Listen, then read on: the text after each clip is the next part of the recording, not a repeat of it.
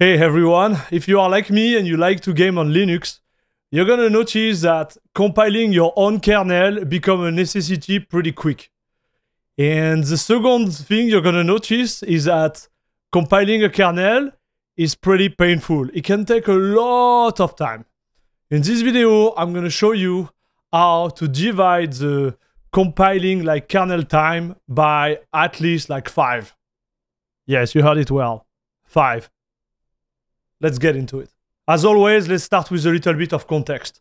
As you know, I'm a big defender of uh, Linux TKG kernel. And what I was trying all the different scheduler within the kernel and making my own tests to have the best gaming experience possible. I kind of like went into a big roadblock, which was the time I needed and which was like required for the compilation of the kernel.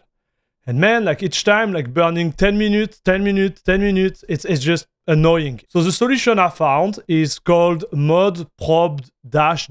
And I'm gonna call that modprob-db for the rest of the video because I have a really hard time uh, to pronounce this word. This utility is really useful and I'm gonna tell you exactly why. When you build your kernel normally, the building process has to go through all the existing module existing in in Linux. But the truth is like you don't need all of them depending on your hardware.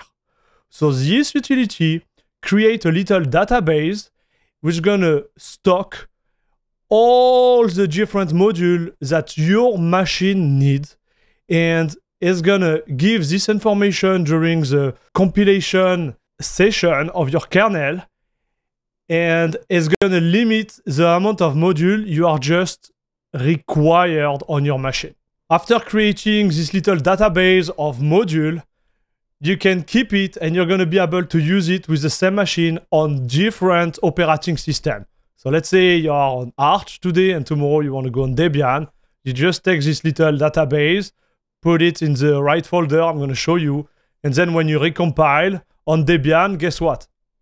It's going to be working. The only issue is that all the modules they are already related to the hardware you use and the different, like I would say, file system you use. Like there is a lot of like uh, different variable you're gonna have to take in consideration. But I would say if you are using the same hardware, there is no really any reason for uh, this utility not to work anymore. So I know you like my pretty face, but we're gonna go without my face like that. You're gonna have a better visibility there. I'm gonna try to wing it with you guys. So here we go. We are using Arch, uh, by the way, fresh install and uh, no virtual machine or anything. Everything is there. What we're gonna do, I'm gonna show you with Arch because it's the easiest in my opinion. But here, I'm gonna put the link of uh, modprob-db there, which has been created by graysky 2. And you can install it on every distro. Like it's it's not a problem at all.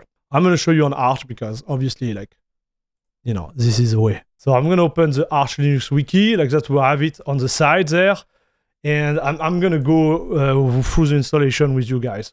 So we're gonna install uh, modprob-db. So I'm gonna copy uh, that real quick because I'm lazy and it's gonna find it. So the one I'm gonna go with is not the Git one. I'm gonna go with the, the normal one. So yay for the research. Uh, package to kill read no. Difference to show no. I'm gonna install it. It's gonna be super fast. Put my password. Do you want to install? Yes. And it's done. I'm gonna clean that. Then I'm gonna show you that it's there. Okay. See if this work. Okay. So no config file found. So creating a fresh one in slash home slash airmax.config slash modprob-db.conf. So we're going to go there and I'm going to show you exactly what it's all about. This little software is going to create two files. The first one, you just saw it. It's the configuration file. And if we want to get ready into it, we're going to edit it real quick. You don't need to do that, but you're going to have everything explained here.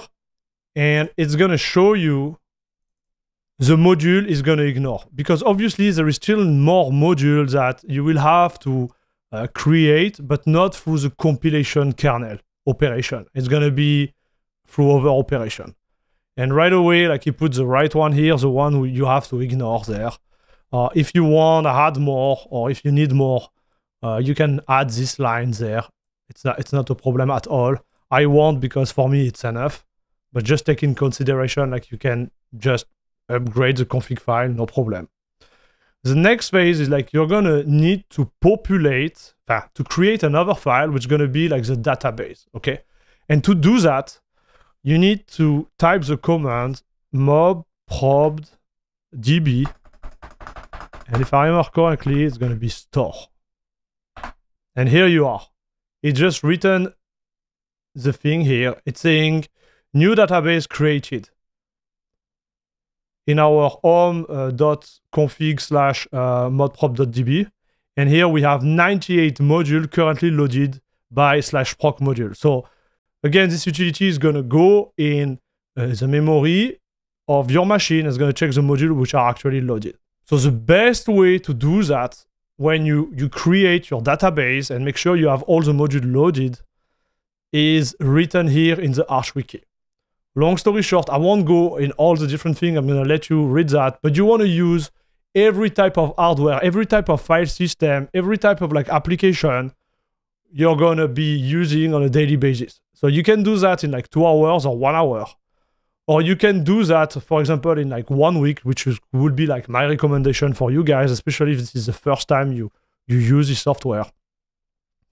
And the best way to do that is just to boot on a normal kernel or actually create a custom kernel with all the module in it. And then uh, create uh, a little like cron here, which gonna populate the database every hour. So I'm gonna show you how to do that. And like that, you're going to be golden, guys. So we made the config file. Now we have the database created here. I'm going to show you again. Both of those files should be there, and they are.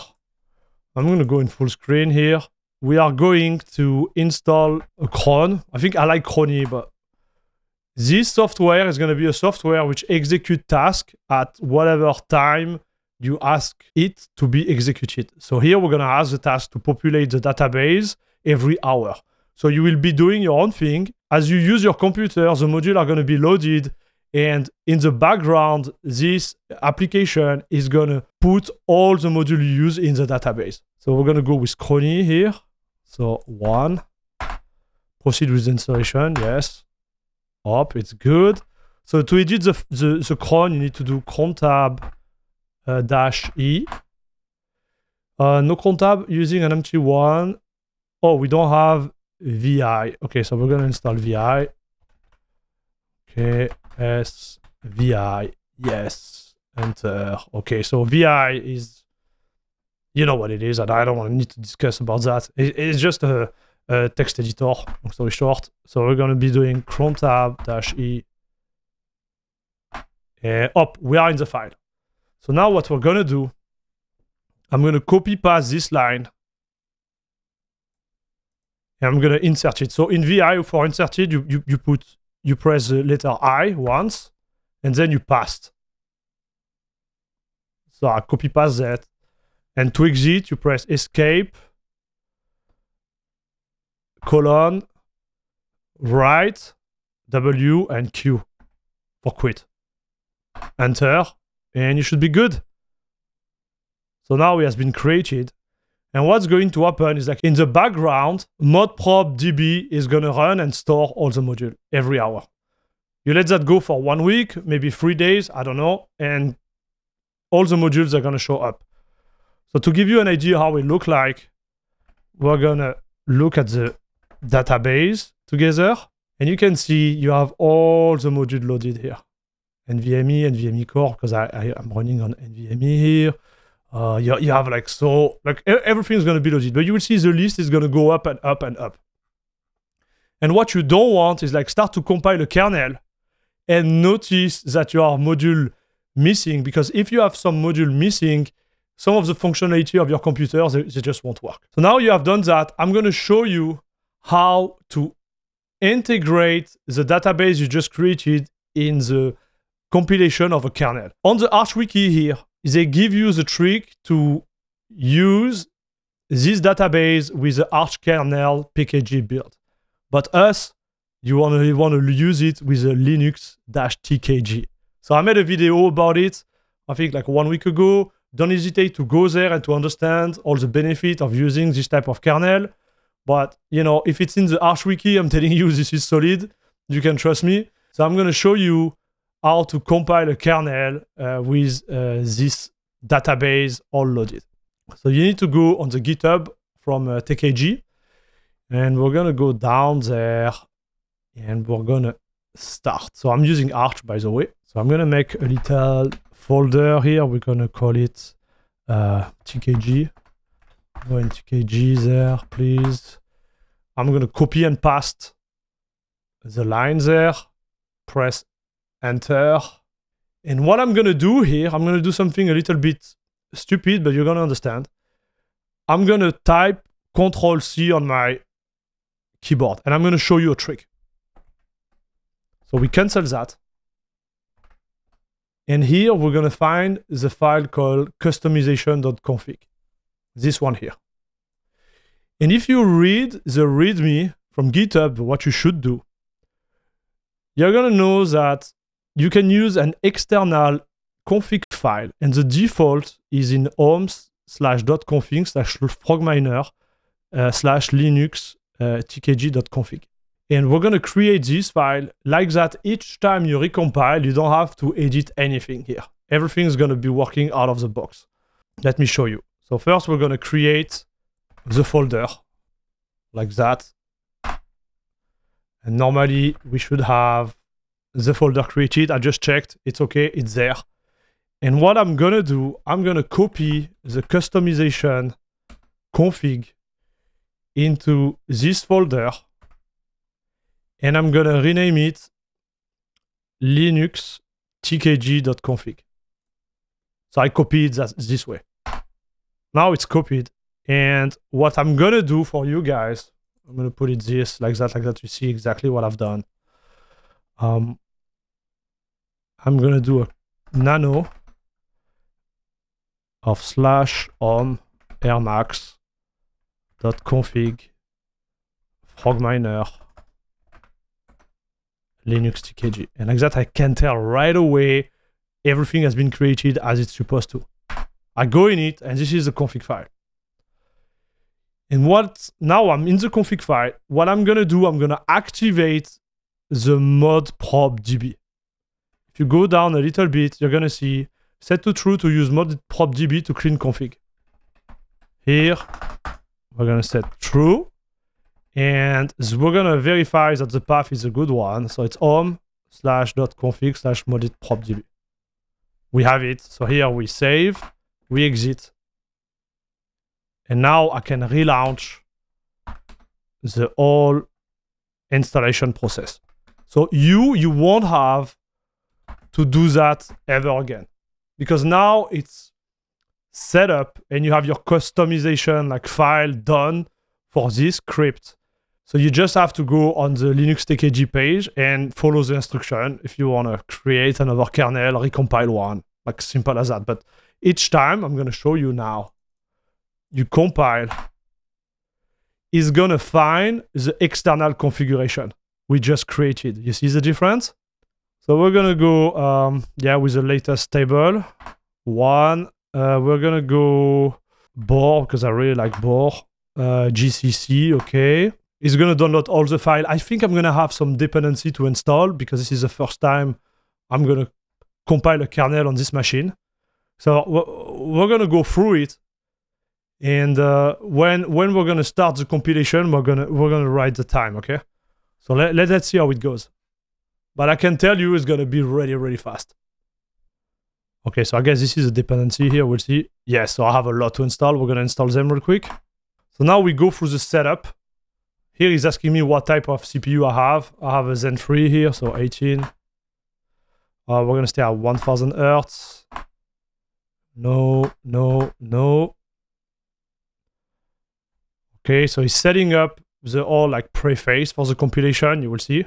All right, so after that, we're gonna start the compilation. So it's 147, and uh, we'll see how long it takes to, to compile a kernel. And you see, it took us like less than three minutes to compile it.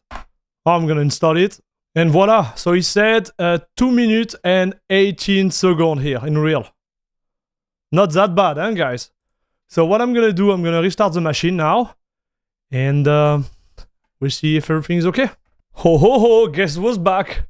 After 2 minutes of compilation, we did boot on the Linux TKG board 6.6.2. And voila. So obviously you get the idea, right? When you have a pro like proper, fully populated database, then you do that. Don't do it like as, as I did here in like two minutes. You're gonna have a little bit of, I would say, like more module to install, but it won't impact really like uh, the compilation time by that much because you're gonna ignore all the modules you actually don't need. So to remove the line. It's simple as that. You're to go back to your cron tab, dash E. And you see here this one. Well, you remove it when you're done. And you exit, right, quit, and you're good. It's done. If you want to keep it in the background, why not? But this is the main idea. You take like one week, three days, depending on your usage of the computer. When it's actually populated properly, then you compile. And voila! You know how to compile a custom kernel ready, ready, ready quick. That's it, that's all. Guys, thank you very much for watching. Uh, again, I want to thank you all the member of La Creme de la Creme Club on YouTube and on Patreon. I want to thank you, all of you guys watching this video. Don't forget to give a thumb up because I really, really appreciate it. And uh, I see you in the next one. You lucky bastard, huh? Now running a kernel TKG and compiling it in less than 5 minutes. OMG. Bisous bisous.